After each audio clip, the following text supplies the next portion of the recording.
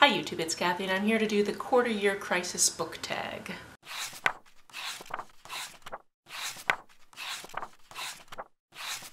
This is a new book tag as of 2020 and I will pop the original down below. I don't think I've been tagged by anybody, although if you have done this tag and you tagged me, thank you for that. Did I say this tag was original to 2020 earlier? I don't know. I think my brain might have done that. It's original to this year. It's brand new. I know that the title of this tag was probably just because quarter year and crisis sound really good together, but also I kind of feel like I'm in a little bit of crisis. I kind of feel overwhelmed. I haven't done a readathon in a while, which really bums me out.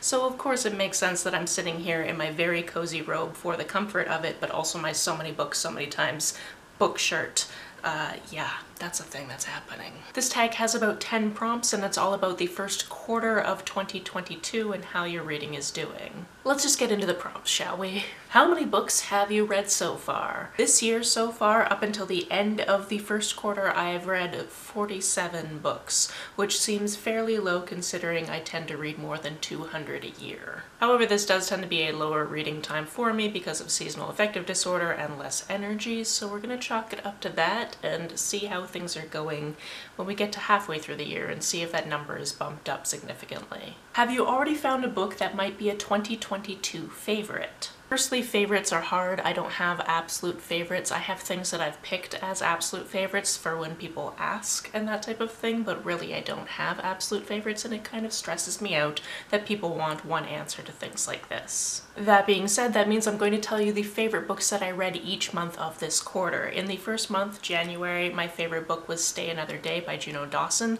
This is a Christmas book that takes place in Edinburgh and it has to do with very messy family situations and Edinburgh is my favorite city in the world, so I was predisposed to enjoy this. In February, my book was Razorblade Tears, and I need this book to be made into an action flick ASAP. And in March, my favorite book was The Girls in the Garden, which is a really good twisty mystery thriller, and I just really needed to know who did it. I suppose as kind of an alternative to that question, in case you haven't read anything very good so far, the next question is, if not, what was your favorite book you read that wasn't quite five stars? I've read nine five stars so far this year, so I think I'm good on that one. I'm a simple creature and relatively easy to please, and especially if books seem like they're kind of geared towards me, I'm going to enjoy them even more, and then my star ratings happen based on enjoyment more than anything else. Sometimes there will be technical things that I'll take stars away for, but it's really just like how much much did I enjoy this? Any one-star reads or a least favorite book of the year? So my least favorite books I've read in each of these three months have been 3.5 star reads,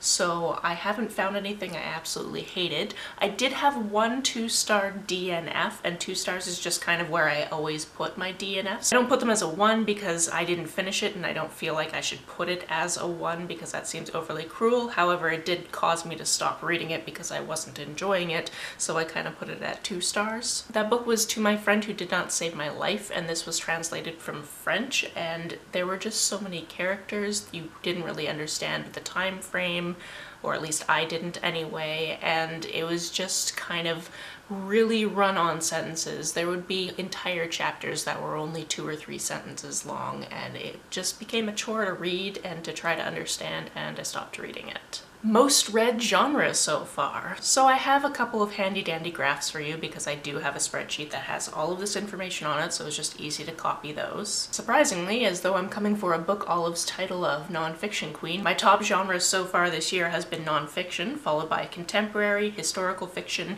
even parts of mystery thriller and fantasy, and then six other genres. If you're the type of person that likes to see the same chart but by page count instead of by amount of books read, this is what it looks like. A book that surprised you. Death Prefers Blondes is a YA book about people who do heists in drag, which I thought that sounded fantastic, so obviously I needed to read it. But I was surprised by the very global scope of this story. Not only do characters go to different places around the world, but things are happening because of different things that are happening around the world. And I did not expect that from what I just assumed was going to be a fun heist romp.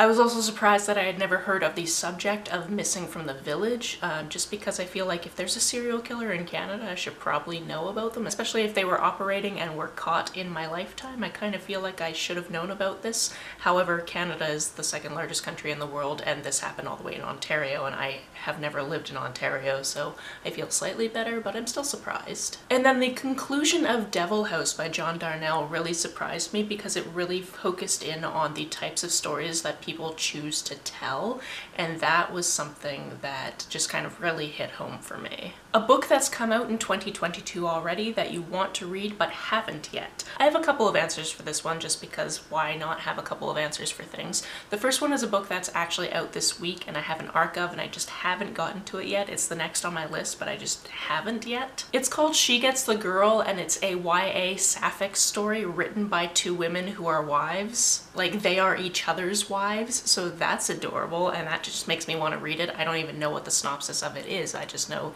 it's YA sapphic and two wives who are married to each other wrote it. So I want to read it. The other one that I don't have a copy yet of and the library doesn't have a copy yet of, which is really frustrating, is One for All, which is a gendered bent retelling of the Three Musketeers that has disability rep. And especially because this is the Disability Readathon month, I would like to read it this month. Will I? It depends on if I can get it from a bookstore or if the library finally comes through for me. Either way, I will eventually read this. One goal that you're succeeding at. Prior to filming this video, I actually went to my goals video because I never know what my goals are. I'm always like, here are my goals. And then a few months later, I have no idea what my goals were. That's always a fun thing I do. So if you want to see me reacting to my 2021 goals and then making my 2022 goals, that video will be linked down below. However, the one goal that I am absolutely smashing is I wanted to continue making my weekly wrap-up series because as far as I know, I am the person on BookTube that has been making weekly wrap-ups the longest longest, and I've never missed a week. I've now been doing it for just over five and a quarter years. I had to laugh really hard though because my first goal was to be less overwhelmed and I'm, I'm still just as overwhelmed. I talked about maybe reading less books this year and so far reading less books, or at least I feel like I've read less books because I, I should have read at least 50 if I'm going to get 200 for the year.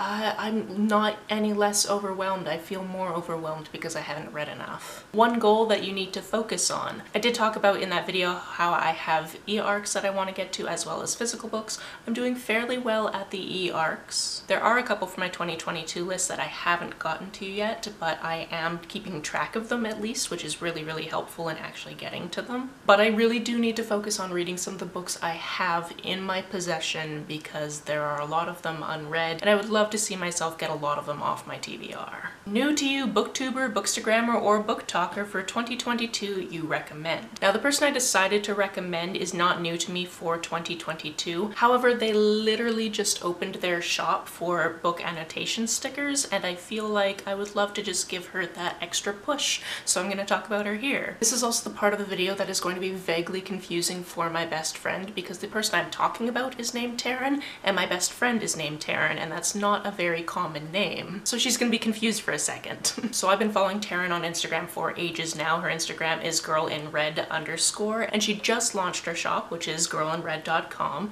And like I said, she makes bookish annotation stickers and they look so cute. I'm not a big book annotator myself, but I know that there are tons of people that really like annotating their books and really like to put a lot of work into doing that, or even they book journal while they're doing it and having these types of stickers would probably be beneficial. So I figured I would tell you about this. I will link their Instagram and their shop down below so you can check that out and let her know that I sent you. And there you have it. This of course is probably the place where I meant to tag people. However, I never know who to tag, who's done it, who hasn't. So if you want to do this tag, you are tagged. I'm sure you can also do this on different platforms, so if you wanted to do it on BookTube or BookTok or anything like that, you go for it. Alternatively, let me know down in the comments below what your answers to these questions are. On the way down to the comments, if you hit that subscribe button, that would be very nice of you. If you don't feel like leaving a comment but want to make sure that I know you were here, just leave me an emoji or a smiley face if you're on your keyboard.